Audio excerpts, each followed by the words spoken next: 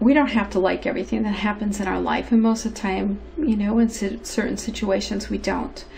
But judging it or creating um, in essence where you're storing it when you're feeling a pain when you and all of us have experienced it at some point you know just think back when you were a kid or a teenager and you got in an argument with your best friend if you think about walking away maybe you've got a pain in your stomach maybe you got um, a headache, maybe you got the flu the next day.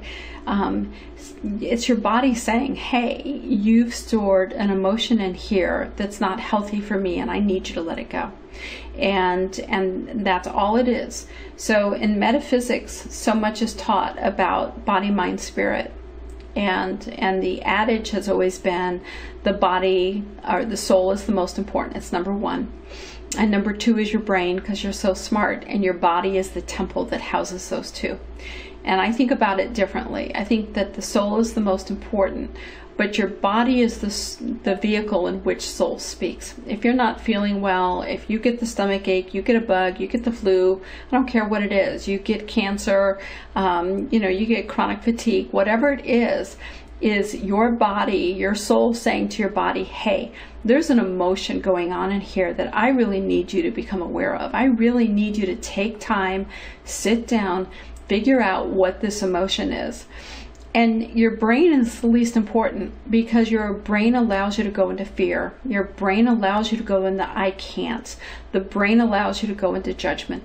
The brain allows you to go into defeat. The brain allows you to go into negativity. It is truly the least important. Yes, you can use it for positive and you can use it for excitement and you can use it for all the fun things that you want to do in your life. But you really need to sit back and go, whoa, it also can be your greatest hindrance. So if you pay attention to your body, then you're understanding that your body in and of itself is letting you know that there's an emotion that needs to be dealt with. And the best course of action is really doing color works or tone works or our new um, Color Falls uh, MP3, um, where you sit and you say to your body, you know, what color, what tone, whatever, what do I need to bring into consciousness the emotion behind this illness? And you just write down what comes up. Maybe it's a word, maybe it's a sentence, maybe it's a whole paragraph. But you just go ahead and write that down.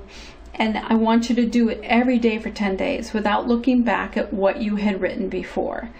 And as you write that down, after 10 days, then sit and reread what it was that you've written. And you'll see a common theme coming through there. You'll see a common emotion that's coming through there that really um, is the crux of what your issue is.